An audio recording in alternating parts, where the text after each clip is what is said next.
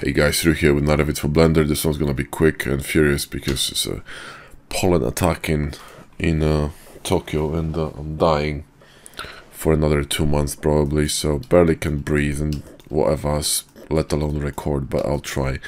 Anyway, if my voice seems deeper than usual, that's the reason, okay? So I want to show you a cool trick with um, uh, bridge tools okay? So let's say that you have a you know idea of creating a sci-fi cable and you want kind of like a um, cable with indented sections okay? So we're gonna grab a cylinder and let's drop a loop in here okay and we're going to control B this and then we're gonna delete the faces. Select these two um, loops with alt and shift alt and click. And we're gonna go to control E and select bridge edge loops. Now you can see that we have this small menu in here which is pretty cool. Now we can add for example number of cuts okay?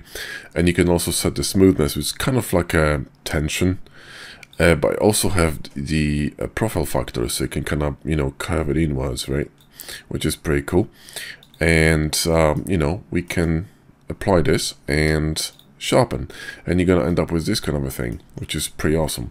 Now we need to remove these two sharp edges because I don't know what they're doing over there. So um, clear sharp right? There you go. And then we can just select these two faces and insert them you know and extrude them uh, on a z-axis. So this one's going to uh, extrude it inwards this one outwards. We're going to sort of you know split this one a little bit so it goes inside. And we're going to select these two edges and chamfer them and select this one and you know chamfer it as well. And then we're gonna apply a bevel right?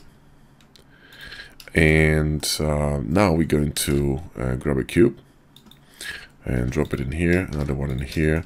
Shift alt C with cablerator you know drop a cable here press S and make it a bit thicker and then D and drop it down.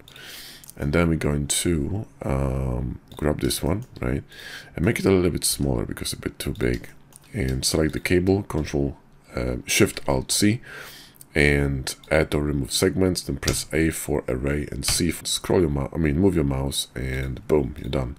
So this is a really cool way of uh, having fun with some with some shapes this um, insert is a little bit I think too small so we're gonna make it a little bit bigger in edit mode so it doesn't clip with a cable.